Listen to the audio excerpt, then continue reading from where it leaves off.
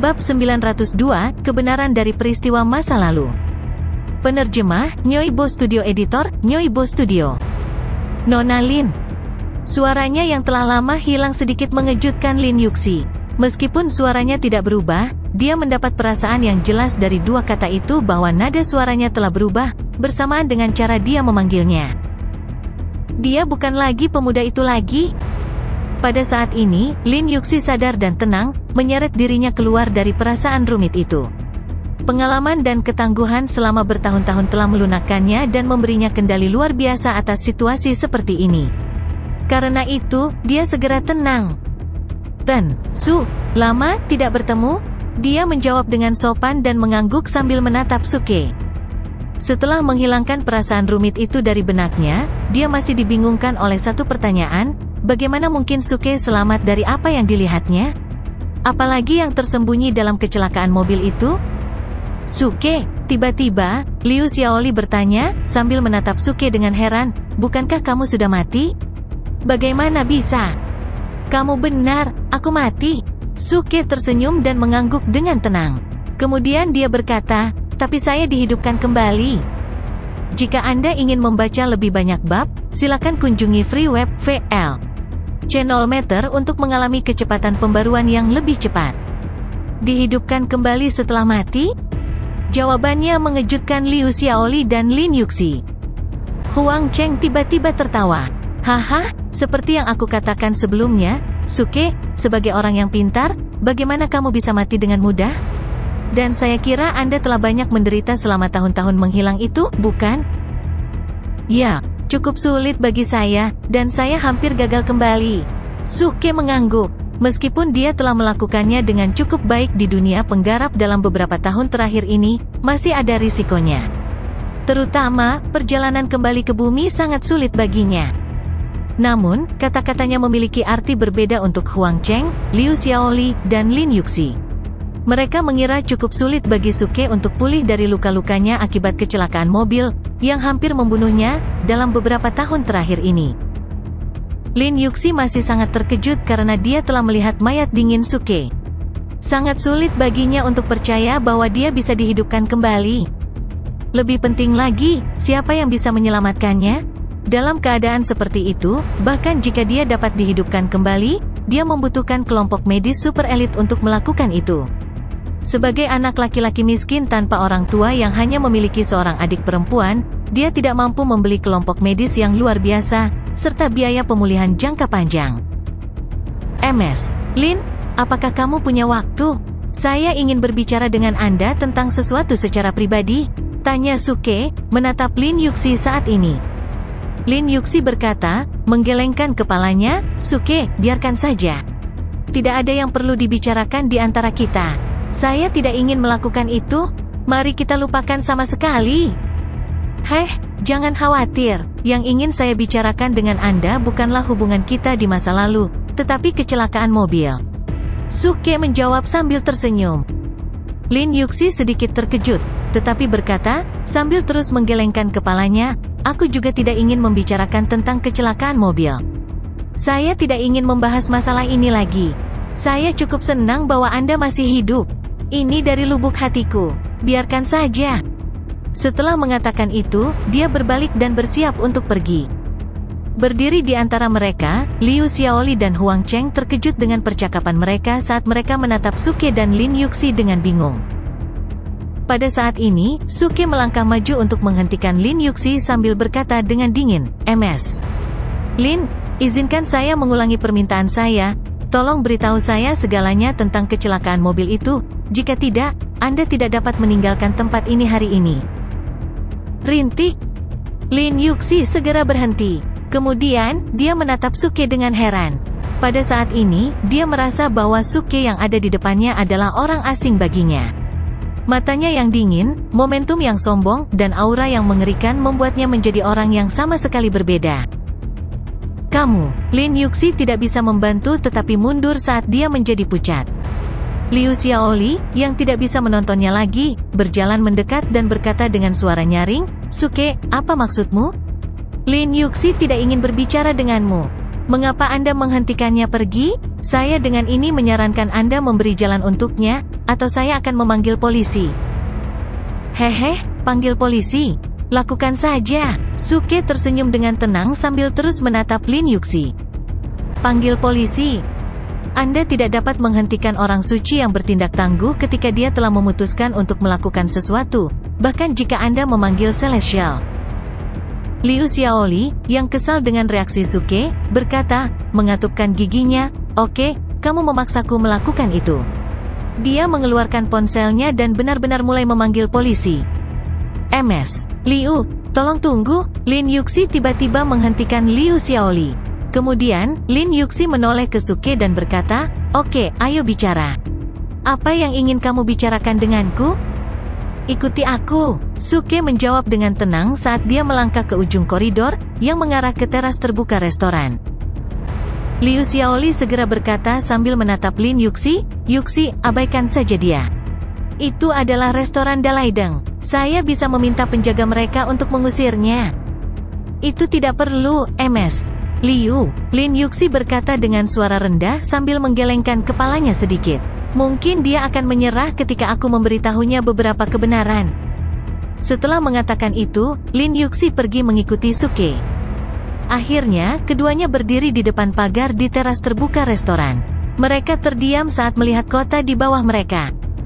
Semuanya telah berubah dalam beberapa tahun terakhir ini. Kata Suke pertama dengan senyum tipis. Tidak peduli berapa lama dia pergi, bumi masih cukup ramah untuknya. Kamu juga banyak berubah. Lin Yuxi berkata dengan tenang sambil menatap Suke. Dalam ingatannya, Suke adalah anak laki-laki yang ceria dan tampan. Dia baik dan pintar. Terkadang dia sedikit ceroboh, santai, dan sembrono. Namun, dia memiliki garis bawah dan prinsipnya. Dia adalah pacar yang santai dan hangat. Kebaikannya terhadap orang lain berasal dari lubuk hatinya. Hatinya yang baik selalu memikirkan orang lain. Namun, Lin Yuxi tidak bisa lagi merasakan kebaikan darinya. Dia merasa Suki lebih dewasa dari sebelumnya. Juga, dia cukup sombong dan dingin. Karakternya yang sombong dan dingin sangat tersembunyi. Dia tidak akan merasakannya jika dia tidak memiliki hubungan dengannya sebelumnya. Namun, dia cukup yakin bahwa Suke telah berubah total. Tidak masalah apakah aku berubah atau tidak. Sebenarnya, saya ingin berbicara dengan Anda tentang dua masalah. Suke menggelengkan kepalanya karena dia tidak ingin mengobrol santai dengan Lin Yuxi. Dia hanya ingin mengetahui sesuatu yang mendesak sebelum berangkat ke Gunung Tai. Pertama, siapa yang merencanakan kecelakaan mobil itu? Kedua, di mana adik perempuan saya? Suke langsung mengejar. Lin Yuxi terkejut dengan pertanyaannya. Kemudian, dia menjawab dengan senyum mencela diri sendiri, saya pikir salah satu pertanyaan Anda adalah mengapa saya putus dengan Anda sebelumnya. Tidak masalah bagiku sekarang, Suke menggelengkan kepalanya. Semuanya sudah ditakdirkan, tidak perlu terjerat dalam sesuatu. Selain itu, saya telah menemukan kecocokan seumur hidup. Setelah mengatakan itu, Suke melihat ke langit tempat bulan berada. Kalau begitu, selamat. Lin Yuxi menjawab sambil tersenyum, setelah sedikit terkejut. Dia tidak malu dengan berita bahwa Suke telah menemukan kekasih baru. Bagaimanapun, hubungan di antara mereka sudah berakhir begitu lama. Sekarang dia hanya merasa bahagia untuk Suke. Suke hidup kembali dengan orang yang dia cintai. Ini melegakan tuduhan diri yang telah menyiksanya selama bertahun-tahun. Terima kasih, Suke menganggukkan kepalanya dengan tenang. Sekarang, bisakah kamu menjawab pertanyaanku? Setelah hening sejenak, Lin Yuxi menghela nafas dan berkata dengan suara rendah, Aku tidak tahu di mana adik perempuanmu. Namun, saya mendengar dia pergi ke luar negeri untuk belajar setelah kecelakaan mobil. Kurasa dia belum kembali ke Huaxia. Mengenai kecelakaan mobil itu, aku tahu siapa yang merencanakannya. Adik perempuanmu dan beberapa teman baikmu pernah menanyakan hal itu kepadaku, tapi aku tidak memberitahu mereka, karena...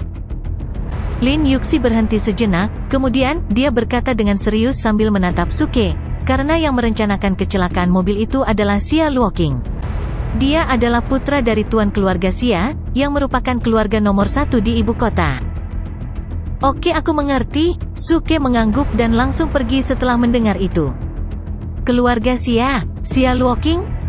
Bagus, tunggu saja Suke dari fraksi surga yang meledak untuk menyampaikan kehangatannya.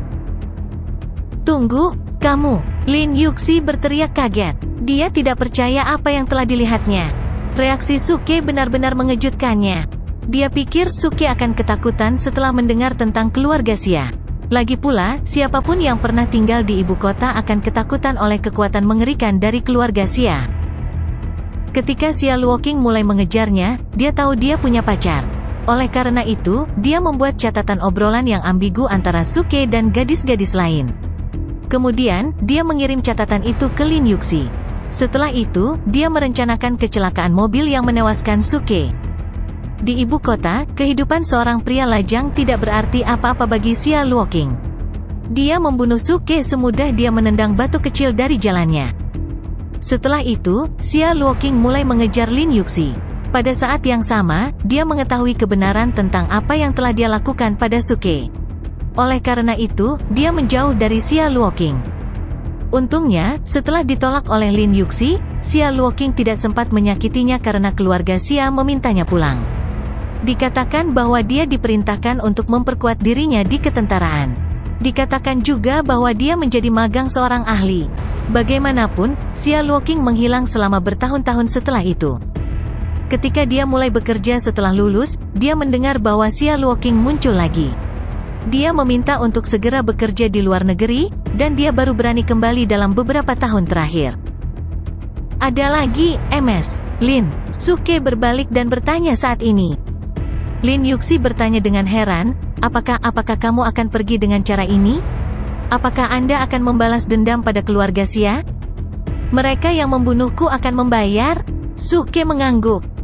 Lin Yuxi terkejut. Suke, aku mengatakan yang sebenarnya, tapi aku ingin kamu menyerah dan melupakan apa yang terjadi sebelumnya. Apakah Anda tahu seberapa kuat keluarga Xia sekarang? Suke menjawab dengan senyum tipis, saya tidak peduli seberapa kuat mereka. Di mataku, semua orang di dunia ini adalah semut.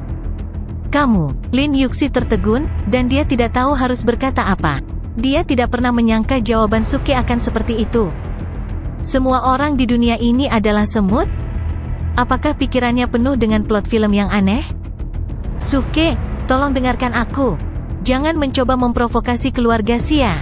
Saya tahu Anda mengalami masa-masa sulit beberapa tahun terakhir ini. Karena Anda telah mendapatkan kembali hidup Anda, lupakan saja semua itu dan biarkan saja. Lin Yuxi berusaha keras membujuk Suke karena dia mengkhawatirkannya. Dia tidak ingin Suke dibunuh setelah mendapatkan kembali hidupnya dengan susah payah. Bagaimana orang miskin tanpa latar belakang bisa menyaingi keluarga besar? Terima kasih atas saran baik Anda. Namun, saya tidak ingin memprovokasi keluarga Sia. Saya akan menyampaikan kehangatan saya kepada mereka dengan mewakili fraksi surga yang meledak. Suke menjawab dengan senyum tipis. Apakah kamu akan menyampaikan kehangatan kepada keluarga Xia? Lin Yuxi semakin bingung, karena dia benar-benar tidak tahu apa yang akan dilakukan Suke. Ngam, tidak. Pertama, saya akan membawa wanita saya ke bumi. Dia masih di bulan sekarang. Bulan, Lin Yuxi tercengang lagi. Kali ini dia benar-benar mulai berpikir bahwa Suke adalah seorang psikopat. Pikiran gelisahnya tidak bisa dipercaya. Beberapa saat yang lalu, dia berkata akan membalas dendam pada keluarga Xia. Kemudian, dia berkata akan menyampaikan kehangatan kepada keluarga Xia. Sekarang dia berkata akan membawa wanitanya ke bumi dari bulan. Bukankah dia seorang psiko? Tunggu. Lin Yuxi tiba-tiba menyadari sesuatu. Kemudian, dia bertanya dengan heran, maksudmu Chang E dengan kostum kuno yang menjadi topik seluruh dunia? Dia bukan Chang E namanya Jiang Hongyan, dan dia adalah wanitaku. Suke menjawab dengan tenang. Kemudian, dia berbalik dan langsung pergi. Lin Yuxi benar-benar terpana di tempat. Tentu saja, dia sama sekali tidak mempercayai kata-kata Suke. Wanita seperti peri di bulan itu begitu anggun dan anggun sehingga dia dianggap sebagai wanita sempurna yang langka yang dicemburui oleh semua wanita di bumi. Ketika Lin Yuxi melihat gambar Jiang Hongyan dari internet, dia merasa dia dilemparkan ke dalam bayang-bayang oleh Jiang Hongyan dan bahkan tidak percaya wanita sesempurna itu bisa ada di dunia ini. Namun, Suke berkata bahwa wanita itu adalah kekasihnya, dan dia akan pergi untuk membawanya ke bumi. Sekarang, satu-satunya pikiran di benak Lin Yuxi adalah bahwa Suke telah kehilangan akal sehatnya. Mungkinkah kecelakaan mobil itu tidak membunuhnya, tetapi merusak otaknya? Lin Yuxi bergumam pada dirinya sendiri. Kata-kata aneh Suke juga memperkuat gagasan itu di benaknya. Akhirnya, ketika dia kembali ke koridor restoran, dia menemukan Suke telah pergi. Huang Cheng dan Liu Xiaoli masih menunggunya. Ketika mereka melihatnya, mereka segera berjalan ke arahnya. Liu Xiaoli bertanya lebih dulu, Yuxi, apa yang terjadi? Apa yang kamu katakan padanya? Huang Cheng juga bertanya dengan rasa ingin tahu, benar. Apa katamu? Dia pergi dengan senyum seolah-olah dia mendapat kabar baik. Tunggu, jangan bilang kalian berdua telah bersatu kembali. Bersatu kembali. Lin Yuxi menggelengkan kepalanya dengan senyum masam. Untayan simpati dan kasihan muncul di matanya. Kemudian, dia berkata dengan suara rendah, perilakunya cukup aneh. Dia bukan lagi orang yang saya kenal bertahun-tahun yang lalu. Saya kira kepalanya rusak dalam kecelakaan mobil itu. Liu Xiaoli terkejut. Apa? Huang Zeng juga terkejut. Apa maksudmu? Lin Yuxi menjawab, menggelengkan kepalanya, apakah kamu tahu apa yang baru saja dia katakan padaku? Dia mengatakan wanita dengan kostum kuno di bulan adalah wanitanya. Dan dia bahkan menamai wanita itu sebagai Jiang Hongyan. Sekarang dia akan membawa wanita itu ke bumi? Terkesiap. Huang Cheng tersentak segera setelah mendengar itu. Kemudian, dia berkata sambil menepuk dahinya, sialan. Tidak heran dia mengatakan kepada saya bahwa dia melakukan kultivasi ketika saya bertanya tentang pengalamannya selama bertahun-tahun di dalam mobil. Saya pikir dia melakukan kultivasi diri di kuil Tao yang terpencil di pegunungan. Ternyata dia dikurung di rumah gila? Kata-katanya membuat Liu Xiaoli dan Lin Yuxi terdiam. Pada saat ini, mereka hampir dapat memastikan bahwa Suke menderita beberapa penyakit mental yang sangat serius. MS. Liu, maukah kamu membantuku? Lin Yuxi bertanya sambil menatap Liu Xiaoli saat ini. Liu Xiaoli sadar dan berkata, menganggukkan kepalanya, apa? Tolong minta seseorang untuk mengikuti Suke. Saya khawatir dia baru saja melarikan diri dari rumah gila. Minta seseorang untuk merawatnya dan menghentikannya membuat masalah. Saya harap Anda bisa mendapatkan dia perawatan di rumah sakit terbaik. Saya akan membayar semua biaya, kata Lin Yuxi. Ah, oke, okay, aku akan meminta seseorang untuk melakukan itu, kata Liu Xiaoli, menganggukkan kepalanya setelah ragu-ragu. Pada saat ini, Suke, yang berlari ke depan di langit dengan menginjak petir setelah meninggalkan restoran, tidak tahu bahwa dia telah dianggap gila oleh orang lain. Dia sedang menuju Gunung Tai. Saat gunung dikosongkan, dia bisa membuka celah pada mantra pembatas dan membawa Jiang Hongyan ke bumi. Gadis kecil, aku akan segera membawamu ke bumi. Suke bergumam pada dirinya sendiri saat dia melihat ke bulan. Setelah Jiang Hongyan mendarat di bumi, dia bisa fokus mencari Su Feifei dan menyampaikan kehangatannya kepada keluarga Xia. Huh, keluarga Xia dari ibu kota? Suke tidak bisa menahan diri untuk mencibir pada dirinya sendiri memikirkan keluarga Xia. Kematiannya cukup menyedihkan. Dia telah terbunuh seperti serangga hanya karena seorang anak laki-laki kaya yang dimanjakan ingin mengejar Lin Yuxi. Sekarang dia telah kembali. Tidak peduli seberapa kecil keluarga Sia di matanya, dia tidak akan pernah membiarkan mereka pergi. Bagaimanapun, gigi demi gigi adalah aturan dari fraksi surga yang meledak. Dan musuhnya harus membayar berlipat ganda. Dia telah tinggal di gunung selama dua hari, menunggu orang-orang yang dikirim oleh Chai untuk menyegel gunung dan mengusir semua orang di daerah ini. Untungnya, Chai menyelesaikan tugas ini dalam dua hari dengan andal.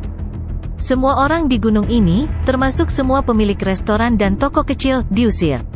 Beberapa warga yang lolos dari jaring kemudian juga ditakuti saat Suke mendandani dirinya sebagai hantu di malam hari. Saat ini, Suke sedang berdiri di puncak Gunung Tai. Seluruh gunung itu luar biasa sunyi. Ledakan. Dia mulai memindai gunung dengan kekuatan jiwa yang kuat. Setelah memastikan bahwa tidak ada manusia di gunung itu, dia mengeluarkan piringan mantra. Kemudian, dia menyegel Gunung Tai dengan mantra pertahanan biasa. Sistem, saya siap membuka mantra pembatas. Suke membuka antarmuka sistem. Menurut panduan yang dia terima, dia mulai mencari inti mantra dari mantra pembatas di puncak Gunung Tai. Meskipun dia tidak tahu siapa yang telah memasang mantra pembatas yang kuat di luar bumi, dia dapat mengetahui bahwa orang ini cukup kuat, yang setidaknya akan mencapai alam surgawi. Kalau tidak, orang ini tidak akan pernah bisa membuat mantra pembatas yang luar biasa seperti itu. Mantra terbatas ini memiliki banyak inti mantra. Semuanya adalah situs bersejarah yang dihormati waktu di bumi. Misalnya, piramida, Pulau Paskah, dan Stonehenge adalah tiga situs misterius. Gunung Tai, tempat Suke sekarang, juga cukup penting di Huaxia. Sejak zaman kuno, orang memperlakukan Gunung Tai sebagai surga yang bisa menuju tahta. Orang biasa dan kaisar datang ke Gunung Tai untuk mengadakan upacara pengorbanan agama. Baik Taoisme maupun Buddhisme menganggap Gunung Tai sebagai gunung surgawi, dan sebuah negara Buddhis telah membangun kuil yang tak terhitung jumlahnya di atasnya. Banyak bangunan kuno dan loh batu dapat ditemukan di Gunung Tai. Sebagai seorang kultivator, Suke tahu dengan jelas bahwa legenda ini bukannya tidak berdasar. Alasan yang mungkin mengapa orang-orang kuno menghargai Gunung Tai dapat dikaitkan dengan inti mantra-mantra yang membatasi di gunung ini. Di antara orang-orang kuno, juga akan ada pembudidaya. Oleh karena itu, ada pepatah yang sangat terkenal, selama Gunung Tai aman, seluruh dunia aman. Sepertinya sejarah bumi bisa menyaingi dunia penggarap. Bumi juga memiliki sejarah yang luar biasa. Suke berseru dan terus mencari mantra pembatas itu. Akhirnya, Suke menemukan inti ejaan di altar pemujaan surga dengan bimbingan sistem. Seluruh spell core terkubur dalam-dalam di bawah tanah. Cukup sulit untuk merasakan kekuatan mantra yang membatasi. Namun, Suke adalah dua per tiga penduduk bumi. Sistem mengonfirmasi bahwa garis keturunannya memenuhi syarat untuk mewarisi inti mantra dari mantra yang membatasi ini. Oke, mari kita mulai. Suke berjalan ke altar penyembahan surga dan duduk di tengahnya dengan menyilangkan kaki. Lalu dia mengulurkan jari. Sebuah luka muncul di jari itu dan darah segar mulai menetes perlahan di atas altar. Dia tidak perlu memindahkan seluruh gunung untuk mewarisi inti mantra. Warisan hanya membutuhkan kekuatan garis keturunan dan akal sehatnya. Suke dapat menangani operasi ini dengan mudah. Ketika altar dibasahi oleh darahnya, dia membuka kekuatan jiwanya dan mulai memeriksa area bawah tanah dengan darahnya. Kemudian, dia duduk di altar dengan tenang dengan kaki disilangkan seolah-olah dia berada dalam kultivasi terpencil. Dua jam telah berlalu dan dia tidak bergerak. Empat jam telah berlalu dan dia diam seperti batu. 6 jam, 12 jam, satu hari, dua hari.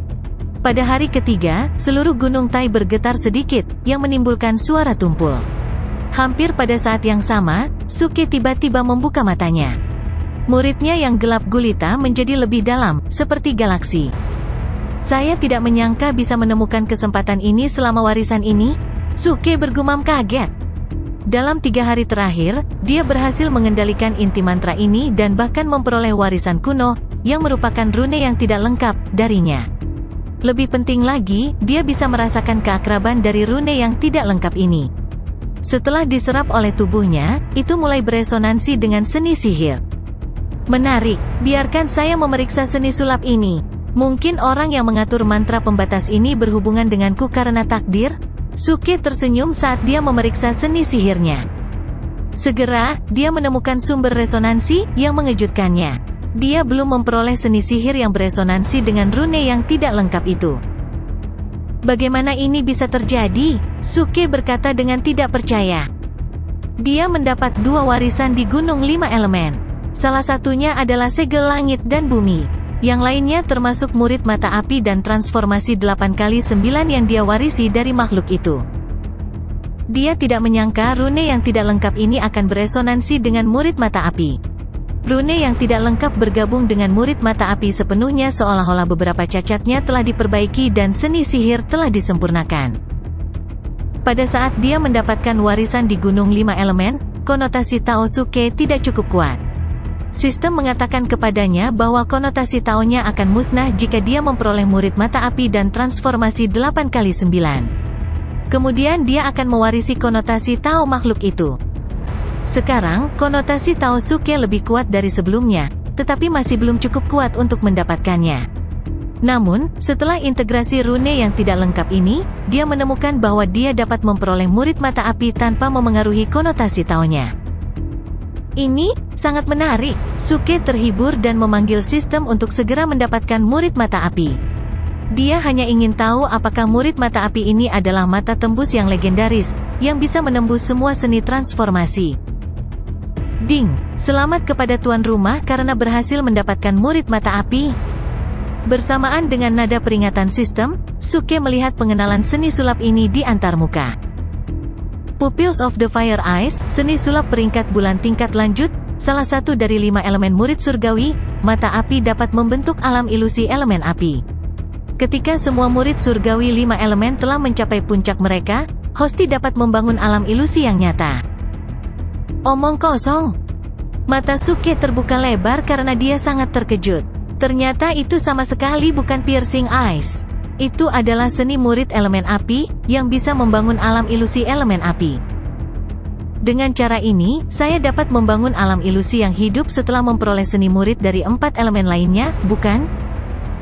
Berengsek, apakah ini berarti saya bisa menjebak seseorang di dunia ilusi selamanya? Tunggu, alam ilusi yang hidup, mungkinkah itu? Suke terkejut ketika dia mengingat dunia ilusi yang telah menjebaknya dan Prizixia selama beberapa dekade. Saya kira alam ilusi itu didirikan melalui lima elemen murid surgawi yang lengkap. Tidak heran itu sangat kuat. Kelopak mata Suke berkedut. Bahkan periziksia yang kuat tidak dapat melarikan diri darinya. Oleh karena itu, dia menduga bahkan seorang celestial pun akan terjebak di dalamnya. Tampaknya aku, orang suci yang bertindak tangguh, berhubungan dengan lima elemen karena takdir, Suke tersenyum sedikit, kemudian dia mulai melihat sekeliling dan sekitarnya, karena dia sangat ingin mencoba. Dia mendapat perasaan bahwa itu seperti mendapatkan penghargaan tambahan dari tutup botol setelah minum kok. Dia bisa mendapatkan warisan setiap kali dia membuka inti mantra-mantra yang membatasi. Kali ini dia hanya menguasai satu spell core, dan perolehannya cukup membuahkan hasil. Jika dia bisa mewarisi sisa inti mantra, dia mungkin mendapatkan lebih banyak rejeki nomplok. Dia bahkan bisa mendapatkan rune yang tidak lengkap untuk transformasi 8 kali 9. Hehe, aku tiba-tiba merasa bahwa bumi hanyalah rumah harta karun yang besar bagiku. Suke tidak bisa menahan senyum. Dia memutuskan untuk berkeliling dunia setelah menyelesaikan semua masalah ini. Namun, hal yang paling mendesak sekarang adalah dia harus membuka celah dalam mantra pembatas sehingga dia bisa membawa Jiang Hongyan ke bumi. Suara mendesing. Seketika, dia membuka kekuatan jiwanya yang luar biasa. Duduk di altar, dia merasa telah menyatu dengan seluruh gunung Tai. Dia bisa mengendalikan segalanya di gunung ini, termasuk mantra pembatasnya. Membuka, dia berteriak sambil menunjuk ke langit dengan jari-jarinya. Desir, untayan cahaya menyilaukan menyembur keluar. Saat berikutnya, lingkaran cahaya muncul di ruang angkasa di luar bumi. Kemudian celah dibuka. Suke melompat ke langit dengan menginjak petir sambil berteriak, gadis kecil, laki-lakimu sudah kembali.